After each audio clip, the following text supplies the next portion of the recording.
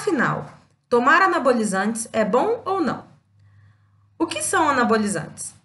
Os anabolizantes são drogas relacionadas ao hormônio masculino testosterona, que podem ser utilizadas por administração oral ou injetável.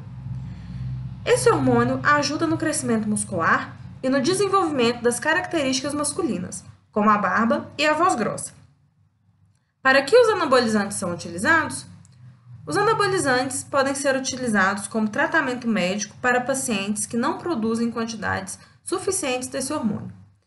Mas muitas vezes esses hormônios são utilizados por fisiculturistas, entre outros atletas, para melhorar o desempenho ou por qualquer pessoa que pretende melhorar sua aparência física, pelo fato desses anabolizantes promoverem um maior crescimento muscular de forma rápida. Mas vamos entender melhor como os anabolizantes agem no nosso corpo? Ao ser administrado, o anabolizante se distribui por todo o corpo. Quando ele entra nas células musculares, gera um aumento do nível de produção de proteínas, e esse aumento de proteínas dentro do citoplasma celular permite que a água que está do lado de fora entre na célula, por um processo chamado osmose. Dessa forma, a célula fica inchada. Além desse inchaço, o metabolismo celular também aumenta. Por ter certa elasticidade, a célula aumenta de volume muitas vezes e é dessa forma que as pessoas ganham músculos de forma tão rápida.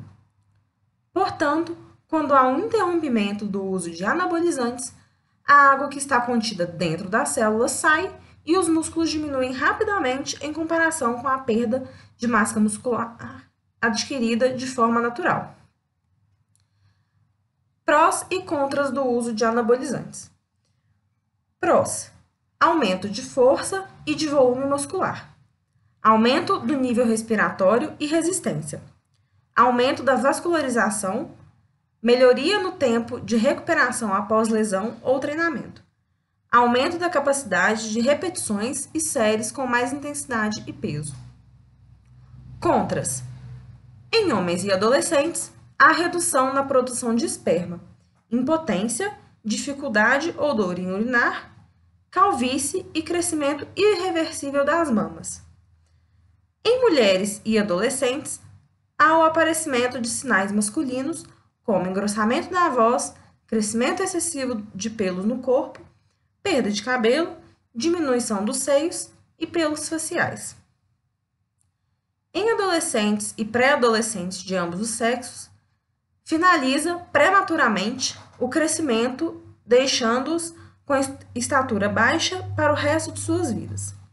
Em homens e mulheres de qualquer idade, há o aparecimento de tumores no fígado, perturbação na coagulação do sangue, alteração no colesterol, hipertensão, ataque cardíaco, acne, oleosidade no cabelo e aumento de agressividade, que pode manifestar-se em brigas.